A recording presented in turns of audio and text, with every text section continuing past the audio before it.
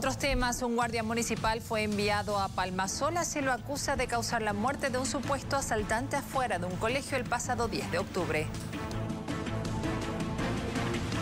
Guardia Municipal a Palmasola causó la muerte de un asaltante.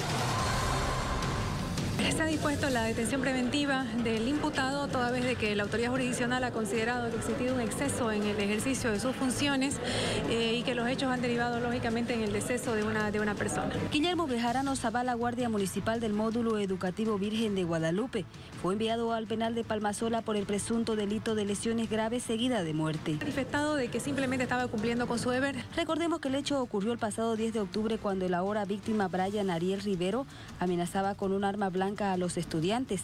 Dos días después perdió la vida en un hospital a causa de la golpiza que recibió. Las imágenes muestran, y como lo ha eh, valorado correctamente el señor juez cautelar, de que ha existido un exceso. Para el Ministerio Público el caso aún no ha sido esclarecido, ya que hay orden de aprehensión para dos personas. Con seguridad han habido otros partícipes, tenemos dos mandamientos de aprehensión ya librados y estamos a la, a la espera de que se... ¿Quiénes serían estas? Son vecinos del barrio.